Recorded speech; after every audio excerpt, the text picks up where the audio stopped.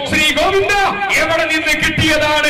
തനിക്ക് ഈ സ്റ്റേറ്റ്മെന്റ് എന്ന് പറയാൻ തങ്ങൾക്ക് ബാധ്യതയുണ്ട്. പറയണം നിങ്ങൾ.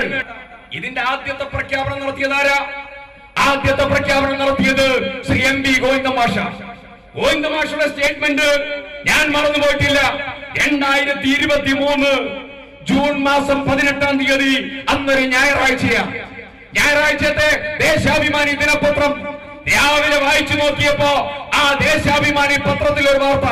എന്താ വാർത്ത? മോൺസൺ മാമുങ്കലിന്റെ പോക്സോ കേസിൽ ആ പെൺകുട്ടി പീഡനത്തിന് വിധേയമാകും വിധേയമാകുമ്പോ ശ്രീ കെ സുധാകരൻ അവിടെ ഉണ്ടായിരുന്നു. സുധാകരനെതിരെ കേസെടുക്കാൻ പര്യാപ്തമായ കേസാണത്. ആരാ പറയുന്നത്? ദേശാഭിമാനി. അന്ന് ഉച്ചയാകുമ്പോ എം പി ഗോവിന്ദ മാഷയുടെ പത്രക്കാരോടുള്ള അഭിമുഖം. എം പി ഗോവിന്ദ മാഷ് പറഞ്ഞു.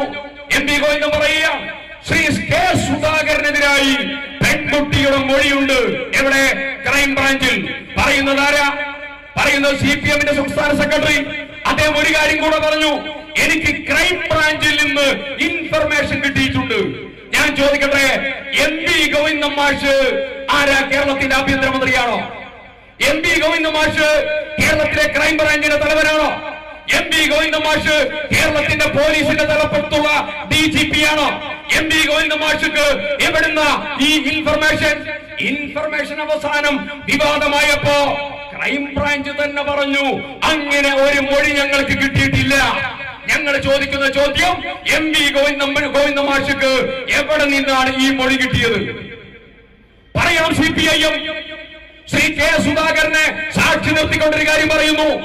ഈ മനുഷ്യനെ വേട്ടയാടാൻ ഈ മനുഷ്യനെ ഉപയോഗിക്കാൻ ഈ മനുഷ്യരെ വേട്ടയാടി അധികാരം പിടിക്കാൻ രണ്ടായിരത്തി പതിനാലിൽ തെരഞ്ഞെടുപ്പിനെ നേരിടാൻ രണ്ടായിരത്തി ഇരുപത്തിനാലിൽ തെരഞ്ഞെടുപ്പിനെ നേരിടാൻ അത് കഴിഞ്ഞ് ലോക്കൽ ബോഡി തെരഞ്ഞെടുപ്പിനെ നേരിടാൻ അത് കഴിഞ്ഞ് രണ്ടായിരത്തി ഇരുപത്തി ആറിൽ അസംബ്ലി തെരഞ്ഞെടുപ്പിനെ നേരിടാൻ നിങ്ങൾ എ കെ ജി സെന്ററിൽ രാഷ്ട്രീയപരമായി തീരുമാനമെടുത്തു എന്നുള്ളതാണ് എം വി ഗോവിന്ദന്റെ സ്റ്റേറ്റ്മെന്റിന്റെ അടിസ്ഥാനം സുധാകരന്റെ പേരില്ല.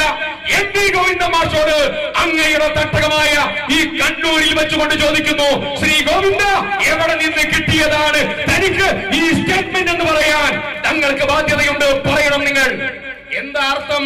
സുധാകരനെ തകർത്താൽ കോൺഗ്രസിനെ തകർക്കാം. കാരണം സുധാകരൻ കേരള പ്രദേശ് കോൺഗ്രസ് കമ്മിറ്റിയുടെ പ്രസിഡന്റാ. കേരളത്തിലെ കോൺഗ്രസിന്റെ മനോവീര്യം തകർക്കാം. അതുമൂലം യു ഡി എഫിന്റെ മനോവീര്യം തകർക്കാം. അതാണ് അജണ്ട. ആ അജണ്ടക്ക് നിങ്ങൾ ഉപയോഗിച്ചതോ? വ്യാജ നിർമ്മിതമായിരിക്കുന്ന ഒരു കേസ്. അവസാനം നിങ്ങൾ ചോദ്യം ചെയ്തപ്പോ ക്രൈം ബ്രാഞ്ചിന് പറയേണ്ടി വന്നു. അങ്ങനെ ഒരു കേസില്ല. അത് കഴിഞ്ഞതിന് ശേഷമാണ് രണ്ടാമത്തെ കേസ്. അവിടെ പരാജയപ്പെട്ടു. ഇതിലെ രസകരമായ കാര്യം എന്താണെന്ന് കാര്യം എന്താണെന്നറിയോ? ബഹുമാന്യനായ ശ്രീ രാഹുൽ ഗാന്ധിയുടെ കേസുമായി ഈ കേസിന് ചില താരതമ്യമുണ്ട്. ആ താരതമ്യത്തെ പറയാതിരിക്കാൻ വയ്യ. ഇതിന്റെ ആദ്യത്തെ അന്വേഷണ ഉദ്യോഗസ്ഥൻ സോജൻ. സോജൻ ഫ്രാൻസിസ്. ആ സോജൻ ഫ്രാൻസിസിനെ നിങ്ങൾ അങ്ങ് മാറ്റി. പകരം നിങ്ങൾ കൊണ്ടുവന്നത് റസ്തം എന്ന് പറയുന്ന പുതിയ പോലീസ് ഓഫീസർ. ആ റസ്തം എന്ന് പറയുന്ന പോലീസ് ഓഫീസർ എന്തു ചെയ്തു എന്ന് ചോദിച്ചാൽ ഇതിൽ പ്രതിയാകേണ്ടതായിരിക്കുന്ന കക്ഷികളെ പിടിച്ച് ഇതിന്റെ സാക്ഷികളാക്കി മാറ്റി. ഇതിന്റെ സാക്ഷികളാക്കി മാറ്റി.